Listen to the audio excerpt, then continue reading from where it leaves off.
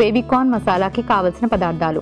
Tofu ఒక cup baby corn ఒక cup ఉల్లిపాయ ముక్కలు ఒక కప్పు మసాలా దినుసులు ఒక టీ స్పూన్ పసుపు పావు టీ స్పూన్ జీరా పొడి అర టీ స్పూన్ ధనియాల పొడి అర టీ స్పూన్ కారం పావు టీ స్పూన్ అల్లం వెల్లుల్లి పేస్ట్ పావు టీ స్పూన్ టొమాటో ముక్కలు ఒక కప్పు నూనె పావు టీ స్పూన్ ఉప్పు తగినంత గరం మసాలా పొడి ఒక teaspoon. Tofu baby corn masala తయారు చేసుకునే విధానం ముందుగా స్టవ్ ఆన్ చేసి పాన్ పెట్టుకొని నూనెతో ప్యాన్ని గ్రీస్ చేసుకున్న తర్వాత మసాలా దినుసులు ఉల్లిపాయ ముక్కలు అల్లం వెల్లుల్లి పేస్ట్ బేబీకార్న్ ముక్కలు టొమాటో ముక్కలు టోఫు ముక్కలు వేసి పసుపు కారం జీలకర్ర పొడి ధనియాల పొడి గరం మసాలా పొడి వేసుకొని బాగా మిక్స్ చేసుకొని తగినంత ఉప్పు వేసి సరిపడే అన్ని నీళ్ళు పోసి బాగా కలుపుకొని మూత పెట్టి ఉడికించుకోవాలి.